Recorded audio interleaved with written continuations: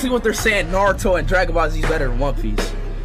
First of all, Naruto has thousands of fillers. One Piece only has two filler episodes. First of all, Dragon Ball Z, when you die, you come back alive. In One Piece, when you die, you're dead forever. Dragon Ball Z is just fiction, bro. It's just straight fake. You die and come back alive. Naruto, I don't want to become Hokage. Who let this nigga cook?